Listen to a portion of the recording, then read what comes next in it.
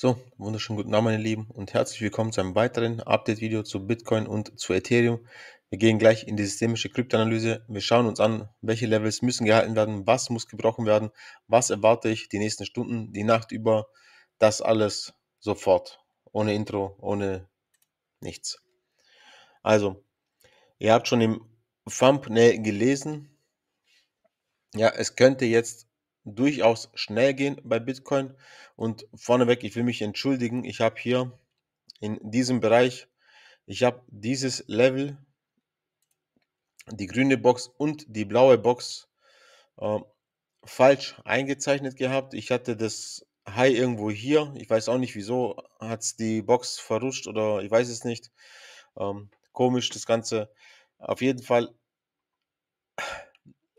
sind hier die richtigen Levels drin und das zeichnet jetzt auch ein anderes Bild ab von meinem ähm, Trade-Setup.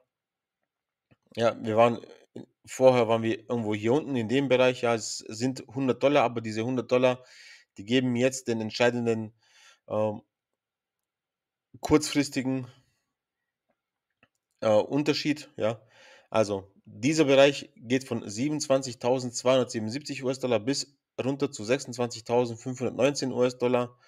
Und die blaue Box geht jetzt von 26.747 US-Dollar bis runter zu 25.683 US-Dollar.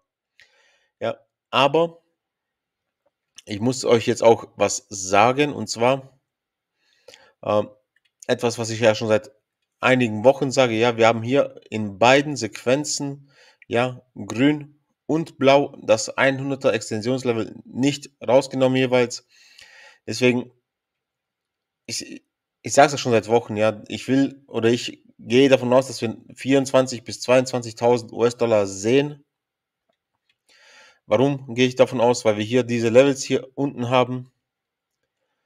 Äh, wir haben hier schon einmal runtergegriffen das 55,9er, das 55,9er hat nicht gereicht, um neue Highs zu generieren. Deswegen gehe ich davon aus, dass wir hier zumindest die 24.300 US-Dollar anlaufen können bei Bitcoin bis runter zu den 22.000 US-Dollar.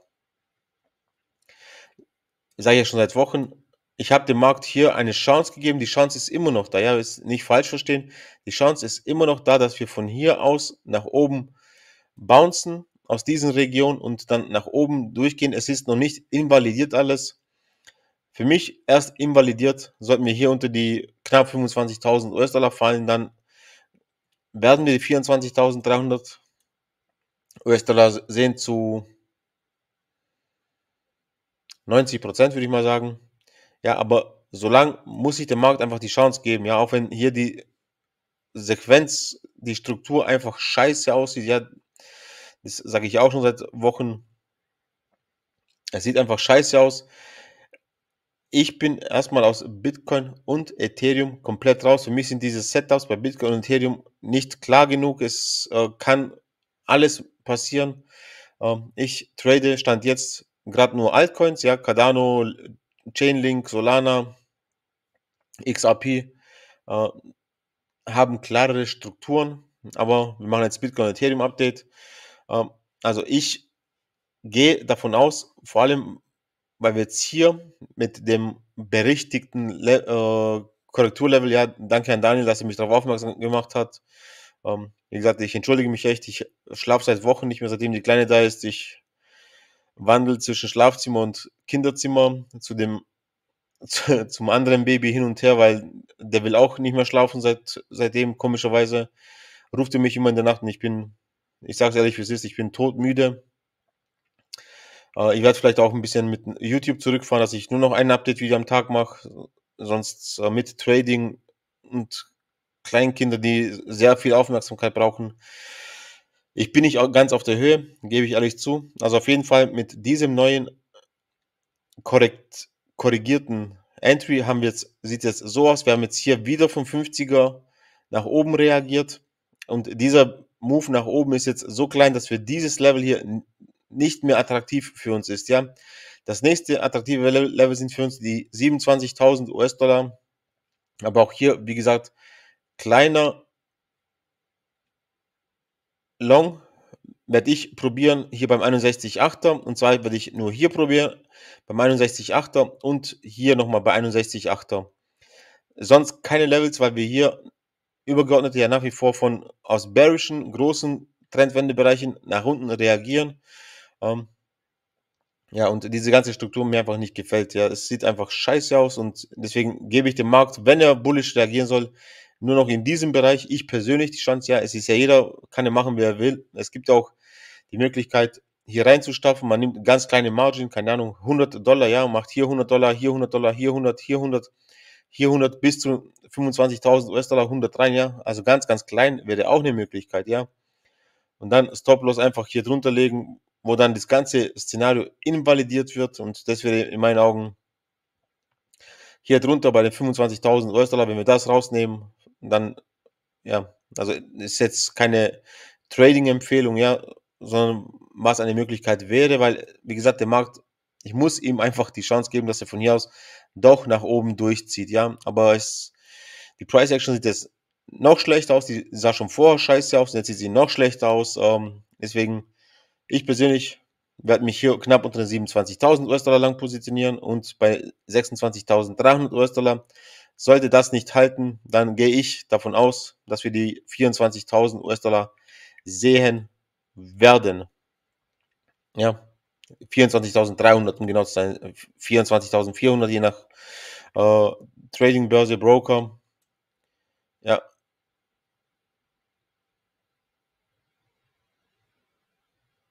Jetzt habe ich hier wieder was falsch eingezeichnet, kann es sein? Was ist das?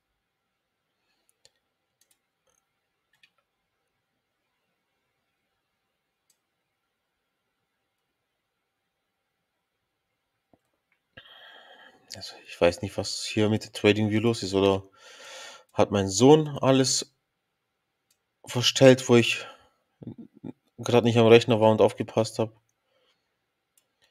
Also, so 22.222 US-Dollar ist so das letzte ultimative Level. Das sollte halten. Bei Bitcoin sonst gehen wir unter die 20.000 US-Dollar, meiner Meinung nach. Also wie gesagt, das hier ist für die nächsten äh, Stunden wichtig für heute Nacht.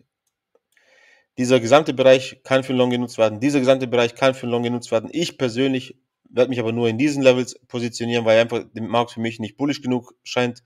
Und sollten wir hier diese Lows rausnehmen, bei 27.000,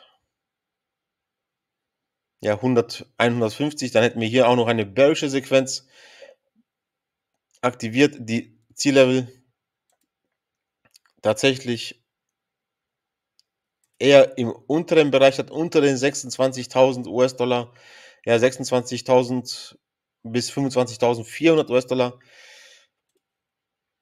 Sieht nicht gut aus und wenn wir das jetzt weiter spinnen und sagen, wir gehen jetzt hier runter auf die 26.000 US-Dollar, kriegen von 26.000 US-Dollar einen Bounce nach oben und reagieren dann am GKL von dieser Bewegung. Ja, sagen wir mal, das liegt ungefähr hier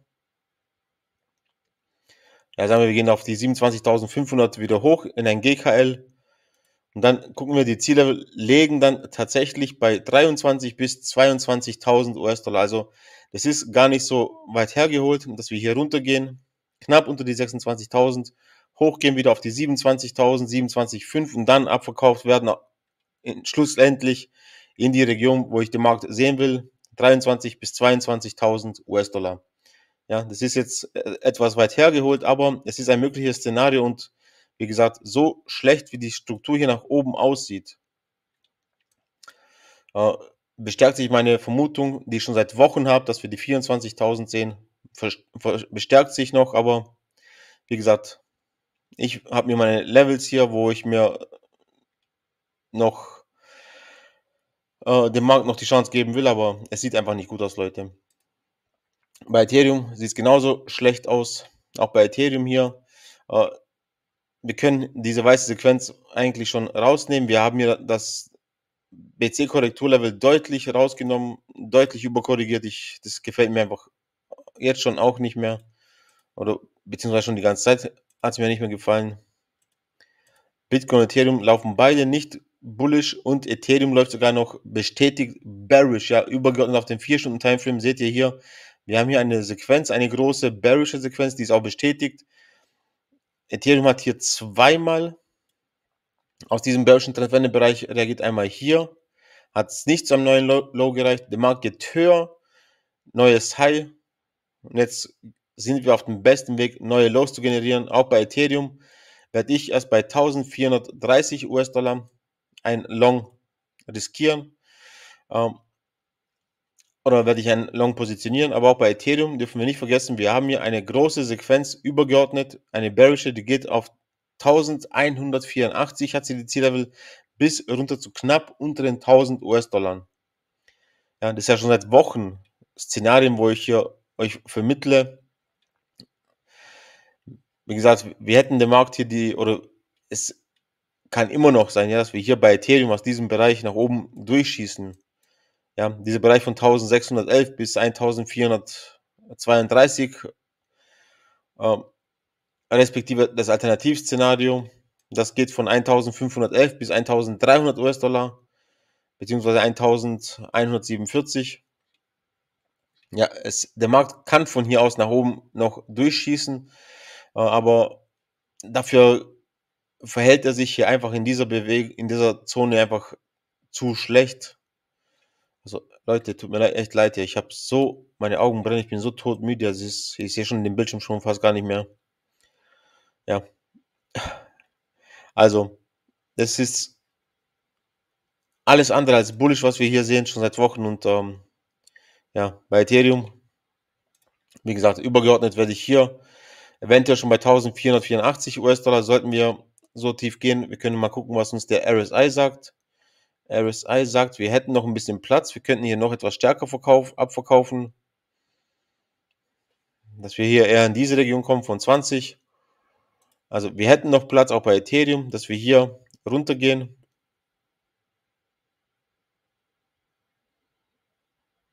Vierundzwanzigster September. Ja, also wir haben auch auf dem RSI haben wir hier eine bearische Bestätigung. Neues Low im Markt, neues Low im RSI, ja, im Vergleich zum letzten am 24. September. Ihr seht hier, hier war das Lower Low auf dem Chart, Lower Low im RSI, eine bearische Bestätigung. Ähm, ja, jetzt kriegen wir vielleicht endlich mal den Move, wo ich schon seit Wochen will und ähm, Gucken wir mal. Aber wie gesagt, der Markt darf hier raus reagieren und bullish weiter aufbauen, aber oder endlich mal bullish aufbauen. Er, er baut ja nicht bullish auf, er baut Scheiße auf. Und ja, ich würde sagen, das war es auch mit dem Update-Video. Mehr kann ich leider nichts dazu sagen. Wie gesagt, trade-technisch bin ich hier raus. Die Levels sind klar, wo der Markt wenden kann. Ja, wie gesagt, das sind die hier, die, das weiße Kästchen. Alternativszenario noch das grüne hier.